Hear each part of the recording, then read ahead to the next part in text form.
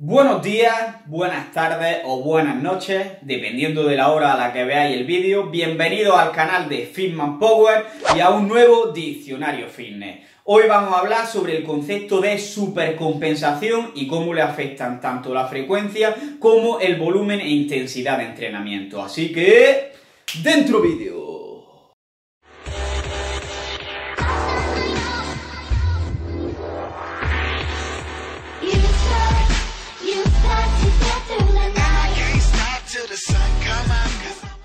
Cuando entrenamos cualquier capacidad física, ya sea la fuerza, la potencia, la velocidad, la resistencia o cualquier otra, lo que estamos haciendo es causarle un estrés a nuestro cuerpo mediante la rotura de fibras, por ejemplo, el agotamiento de los depósitos de energía, etcétera, que lo que va a hacer es que empeoremos nuestras capacidades físicas. Es decir, cuando acabamos de terminar de entrenar, lo normal es que podamos levantar menos peso, podamos correr menos o tengamos menos resistencia porque ya estamos agotados físicamente. Y aquí es donde entra en juego uno de los puntos más importantes y que menos se tienen en cuenta del entrenamiento como es el descanso. Ya que en este descanso lo que va a hacer nuestro cuerpo es provocar adaptaciones en estas fibras musculares o en los depósitos de energía que van a hacer que en una situación futura podamos adaptarnos mejor a esa situación de estrés para el cuerpo, pero estas adaptaciones no se van a producir únicamente hasta el punto en el que estábamos al principio, antes de entrenar, sino que el cuerpo va a prepararse un poquito y vamos a llegar a un punto de unas capacidades superiores a las que teníamos al principio. Por ejemplo, me voy a centrar en este caso en el entrenamiento de fuerza,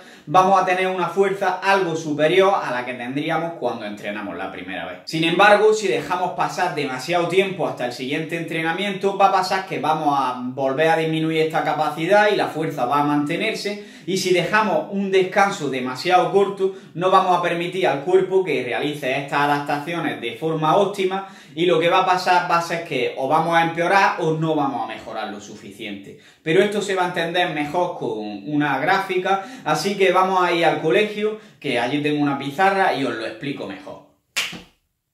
Pues ya estamos aquí en el colegio y tengo aquí una pizarra que casualmente tiene aquí dibujado el concepto de supercompensación, así que vamos a explicarlo ligeramente. Vamos a centrarnos en esta gráfica grande y esta la usaré para explicaciones auxiliares, digamos.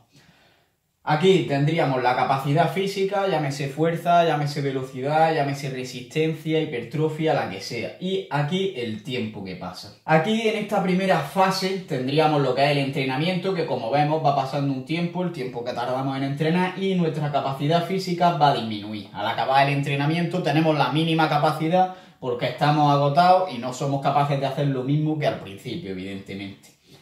Después aquí empezaría el descanso y por tanto la capacidad física empezaría a aumentar y como vemos se van produciendo esas adaptaciones que digo hasta un punto algo superior al que teníamos al principio de, de empezar con el entrenamiento de antes. Aquí estaría el punto con el que empezamos y aquí estaría con el que acabamos. Este sería el punto óptimo para repetir un entrenamiento y que la gráfica vaya teniendo esta forma de manera que cada vez se vaya produciendo una pequeña mejora. ¿Qué pasaría si entrenamos demasiado frecuentemente y no llegamos a dejarle al cuerpo tiempo suficiente para recuperarse al completo de un entrenamiento? Es decir, ni siquiera llegamos hasta este punto en el que nuestra capacidad adquiere su punto inicial que aquí repetiríamos el entrenamiento, volvería a bajar y luego a lo mejor se repite un poco la subida, pero en definitiva estaríamos empeorando, estaríamos dándole un sobreentrenamiento y la gráfica tendría esta forma. Estaríamos empeorando ya sea la fuerza, la velocidad, etc. Por otra parte, ¿qué pasa si dejamos un descanso demasiado grande que el cuerpo le da tiempo a recuperarse, pero es tan grande el descanso que vuelve a restituir su capacidad inicial y por tanto no estaríamos ni mejorando ni empeorando, sino que la gráfica, cuando vamos repitiendo los entrenamientos, sería con esta forma, de manera que mantenemos la capacidad, ni mejoramos ni empeoramos. Entonces, ¿cuál sería el objetivo? Pues no descansar ni demasiado poco tiempo para que al cuerpo no le dé tiempo a recuperarse, ni demasiado para que perdamos esas mejoras que se han producido y aprovechemos este fenómeno, el verde, de supercompensación. Dentro de la supercompensación, obviamente puede ser una supercompensación mayor u otra menor, dependiendo de la frecuencia exacta de entrenamiento y del volumen e intensidad, como vamos a ver más adelante que afectan.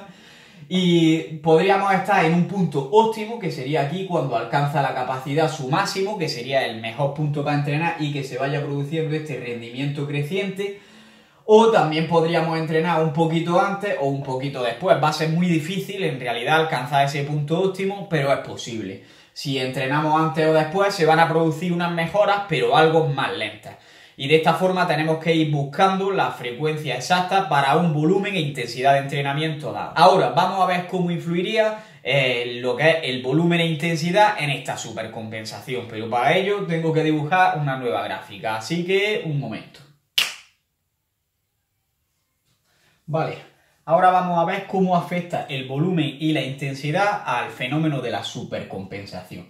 En primer lugar vamos a imaginar que hacemos una sesión de entrenamiento con un volumen e intensidad óptimo, es decir, el volumen e intensidad exacto y vamos a estar representados por la línea verde. Como vemos, se hace una pérdida de capacidad intermedia entre las otras dos y después vamos a recuperar hasta un punto que como vemos está más alto que en los otros dos. Es decir, estamos dando un estímulo adecuado para conseguir la máxima mejora. Por otra parte, estaría la situación en la que le damos un volumen e intensidad muy pequeño al entrenamiento y por tanto sería un estímulo insuficiente para producir la ganancia óptima y como vemos se produce un descenso de las capacidades más pequeño que el que teníamos en el caso del volumen e intensidad óptimo y después se produce igualmente una recuperación y unas adaptaciones que son también más pequeñas que en el caso del volumen e intensidad óptimos de entrenamiento. Sí habría que considerar otra cosa, que es que en este caso se ha producido esta mejora en menos tiempo y por tanto podríamos darle más frecuencia de entrenamiento y esa es otra variable con la que tendríamos que jugar. En este caso, si le damos un volumen de entrenamiento más pequeño, podríamos mejorar menos o puede que incluso ni siquiera llegue a producirse esa mejora por ser un estímulo muy insuficiente. Y en tercer lugar vamos a considerar que damos un volumen e intensidad de entrenamiento demasiado grande, una sesión de entrenamiento dificilísima, apenas puedes andar cuando acabas, te cuesta subir las escaleras y como vemos el descenso de las capacidades es el más grande de los tres casos y después se produce igualmente esta recuperación y como vemos llega a un punto muy inferior porque el cuerpo no tiene capacidad para recuperarse de tanto y tenemos un intervalo muy pequeño en el que podríamos mejorar y además una mejora bastante inferior a la que tendríamos en los otros casos. Además nos recuperaríamos mucho más tarde, lo que supondría que le estamos dando una frecuencia menor al entrenamiento y por tanto las mejoras van a ser incluso más lentas. Pues con esto doy por finalizado el vídeo de hoy, así que si os ha gustado dejad la manita arriba, si no estáis suscritos suscribíos y compartirlo en las redes sociales y dejarme cualquier duda en los comentarios. Un saludo y a seguir creciendo. Escucha cómo suena, voz imposible va a llegar ya, nadie me va a frenar, ahora soy yo el que se va a levantar.